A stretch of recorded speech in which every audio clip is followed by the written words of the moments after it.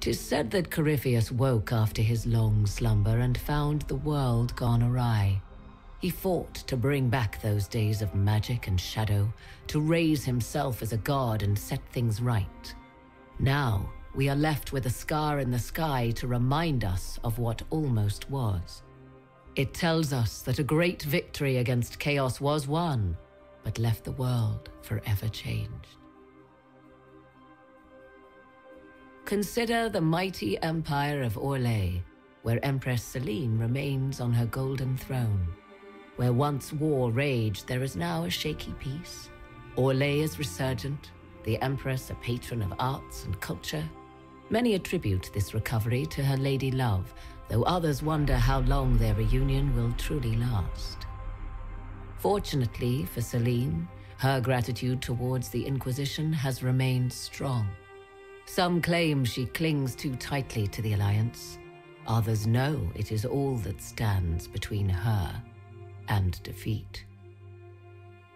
The Grey Wardens of the South slowly rebuild in the months following the events at Adamant. They declare it time for the Order to emerge from the shadows, to join the rest of humanity in fighting their ancient foes.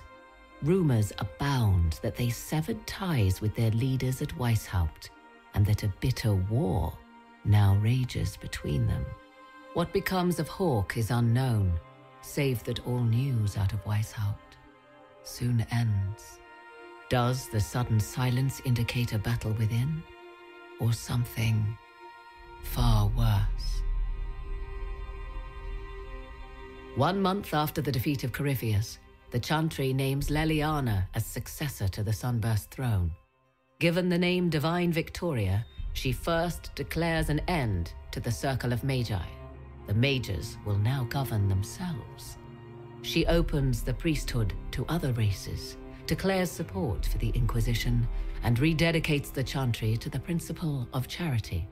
Divine Victoria is controversial from the start. Several new sects arise, resisting her reforms and declaring her rule a threat to the faith. She meets with their leaders, urging unity, Miraculously, her words take root, and for now, the Chantry remains strong. The Inquisition's mages, the former rebels led by Grand Enchanter Fiona, are left with a choice. When Leliana disbands the circles, they leave the Inquisition and reform the College of Enchanters as a new order. The college, they say, will allow mages of the South to gather in peace and seek new solutions to age-old problems. For the moment, it appears to be working.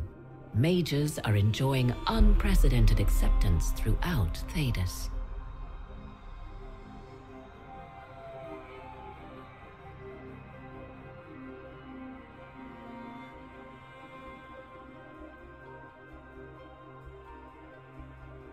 And what of the Inquisition itself?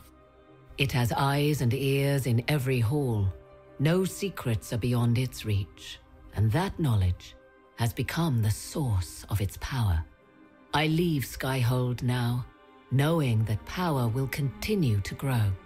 The Inquisitor is a symbol to many, a leader of the changing world order.